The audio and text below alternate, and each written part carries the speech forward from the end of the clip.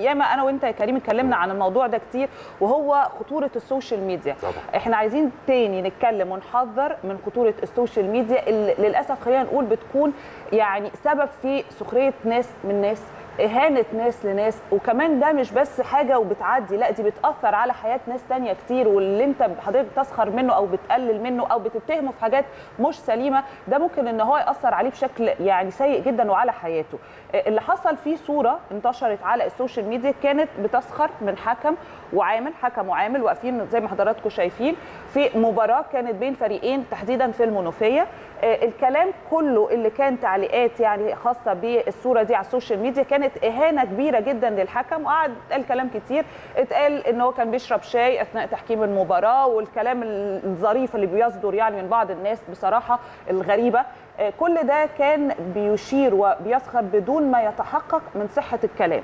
الصورة كانت زي ما حضراتكم شايفين للحكم المحترم الكابتن والدكتور أحمد ساهر حكم المباراة اللي بعد تداول الصور رد وقال بقى وكشف الحقيقة قال العامل ده كان رايح يودي شاي للمجموعة المصاحبة للفريق الضيف في الجانب الآخر من الملعب بدون وعي بقى من العامل اخترق أرضية الملعب فالحكم وقفه وده طبيعي جدا ورجعه تاني وفهمه إن كده ما ينفعش إن هو يحصل إن هو يخترق أرضية الملعب أثناء الاستعداد للشوط الثاني في المباراة. فشوفوا حضراتكم يعني فكرة إن إحنا نشوف صورة وبعدين نبتدي نعلق يا كريم من غير ما نتحرى أصلا الدقة ونبتدي نهين الناس كمان ونتهمهم. طب ما نستنى كده نعرف الأول القصة الحقيقية. للأسف ده بيحصل كل يوم ويعني بعيدا بقى كمان عن الصورة دي ده بيحصل كل يوم ملايين المرات من خلال وسائل التواصل الاجتماعي المختلفة. اللي حصل يعني طبعا شيء مش لطيف بالمرة. كل الناس شيرت الصور وأهانت الراجل المحترم بدون وعي. إحنا بنقول طبعا لكل واحد كتب وسخر من هذا الحكم المحترم. يعني ما تحط نفسك مكانه وشوف رد فعلك هيكون إيه وهتزعل إلى أي درجة لما تقرأ نوع التعليقات اللي كل الناس علقتها. يعني خلونا دايما نحترم نفسنا ونحترم الآخرين ونحترم حقوق الآخرين وبلاش سخرية على وسائل التواصل الاجتماعي المختلفة. لازم نكون مدركين ان كل حرف وكل كلمة إحنا بنكتبها ب يعني بقلة ذوق. دي مش بس بتزعل الشخص المعني أو الطرف الثاني اللي انت كاتبة عنه. الطرف الثاني ده عنده أب وعنده أم وعنده زوجة وعنده أولاد.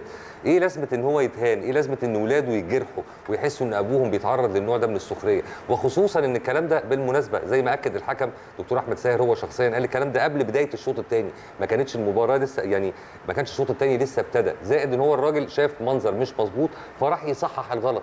الناس بقى شافوا كادر ثابت يا نهاوند مش عارفين لا إيه اللي قبله ولا إيه اللي بعده. طب بتفتوا ليه؟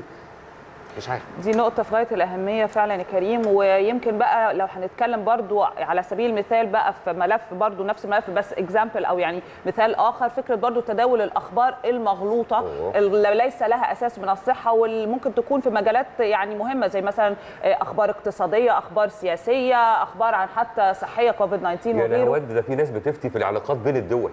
والله بكلمك لا لا لا شيء صعب. وصلت لكده. صعب. يعني أنا أتمنى فعلا إن يكون في رقابة أكتر على شبكات التواصل الاجتماعي. مش فكرة بس رقابة يبقى في عقاب.